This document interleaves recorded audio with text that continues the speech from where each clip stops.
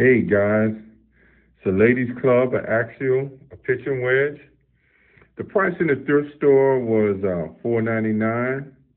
The lady gave me a look and she gave it to me for $3.74 plus tax. Came out to exactly $4. I want to thank her for that.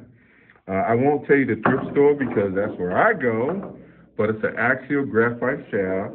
It has a Tommy Armour uh, graphite shaft and a Tommy Armour grip.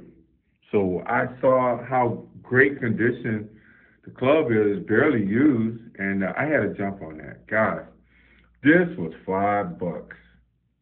Five, four bucks actually.